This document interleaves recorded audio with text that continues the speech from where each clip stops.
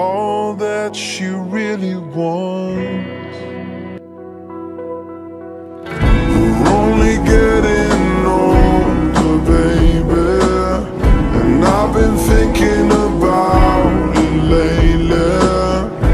Does it ever drive you crazy? Just